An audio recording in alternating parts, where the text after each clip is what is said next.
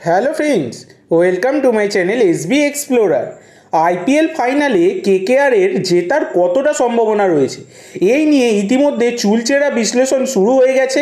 তবে আইপিএলের পরিসংখ্যান কিছুটা স্বস্তি দিচ্ছে কেকেআরকে কারণ কেকেআর আইপিএলের ফাইনালে উঠে এখনও পর্যন্ত কখনো হারেনি। দু হাজার বারো সালে প্রথমবার গৌতম গম্ভীরের নেতৃত্বে আইপিএলের ফাইনালে পৌঁছেছিল কেকেআর আর সেবার চেন্নাই সুপার কিংসকে হারিয়ে তারা চ্যাম্পিয়নও হয়েছিল। মজার বিষয়, সেবার আইপিএল টেবিলে দুইয়ে ছিল কলকাতা, আর চারে ছিল চেন্নাই। শীর্ষে ছিল দিল্লি ডেয়ার ডেভিলস তিনে রয়্যাল চ্যালেঞ্জার্স ব্যাঙ্গালোরের বদলে ছিল মুম্বাই ইন্ডিয়ান্স। বাকি চিত্রটা দু হাজার একুশের মতোই হুবুও এক। শুধু চেন্নাই আর কলকাতার স্থান যা অদল বদল হয়েছে। দিল্লিকে হারিয়ে দুইয়ে থাকা কলকাতা সরাসরি ফাইনালে পৌঁছে গিয়েছিল। এদিকে মুম্বাইকে হারিয়ে কোয়ালিফায়ার টুতে চেন্নাই হারিয়ে দেয় দিল্লিকে।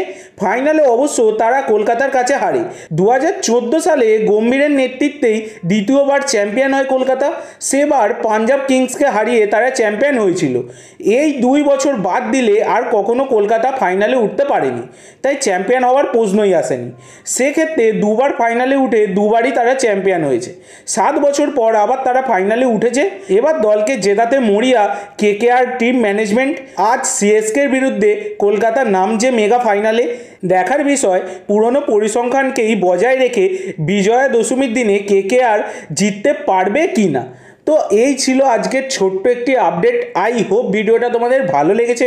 আচ্ছা এইটুকু বন্ধুরা, ভিডিওটি ভালো লাগলে অবশ্যই লাইক করো শেয়ার করো।